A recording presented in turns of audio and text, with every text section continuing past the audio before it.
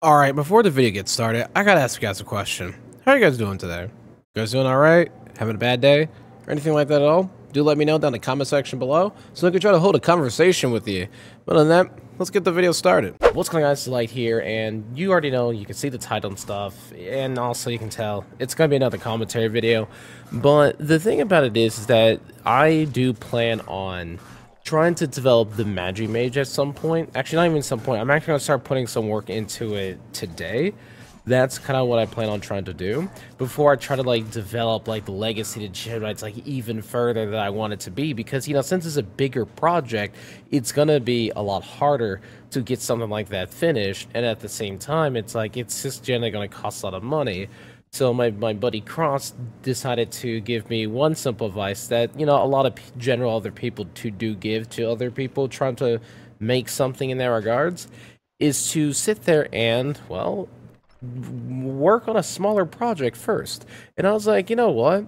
I've always thought about my story, The Maji Mage, which is something I've always had since like 2014. Like, no, not 2014. I think it's like a 2015, 2016 kind of thing point is and stuff I, i've never really saw the story meant, meant to be like really long and ambitious and stuff compared to like the legacy of geminites and like what certain kind of like uh things i kind of want to portray or whatnot or like what kind of like uh meanings or whatever i can portray within that work and the more I kept thinking about Maji Mage stuff, is like I, I could honestly start off with that, since not only there's not a lot of characters within the story, the story's premise as well too is not gonna be really that hard to follow and stuff. Especially since the story kind of focuses on Maji, which is the Devil's Mage, where the story revolves around her.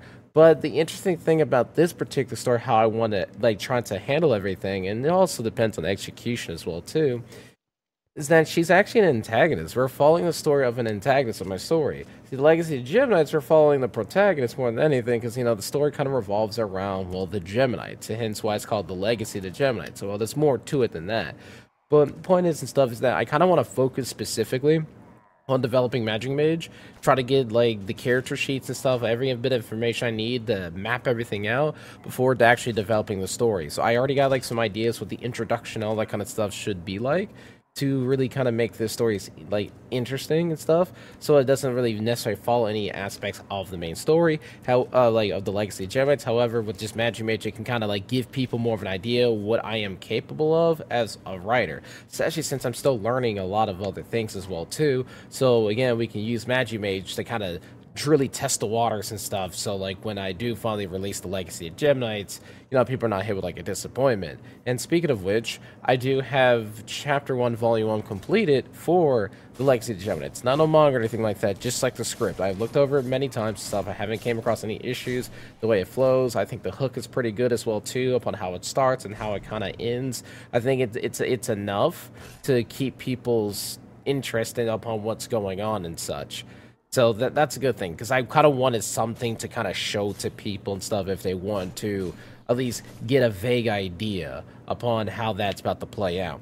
But other than that, back to the whole Maji Mage thing and stuff, it's like, yeah, I kind of want to put some work to that. Try to develop a short story that may range from either 12 chapters to 24 chapters in manga standards, mind you. And just try to create something kind of fun, honestly.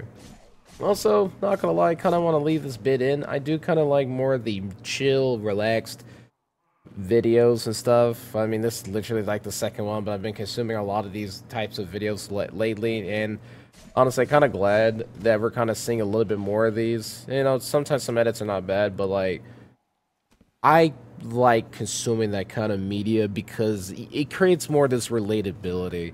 And it doesn't feel so like you know it doesn't feel oversaturated. There's more personality behind it. doesn't feel like a robot pretty much if that makes sense. I don't really know how else to really describe it and stuff but yeah that's kind of what i wanted to say. But do not worry i'm still going to bring back the regular style content that everyone's used to with edits and stuff that's not done with because i mean look that's just my style. That's just me. I kind of want to put that out there.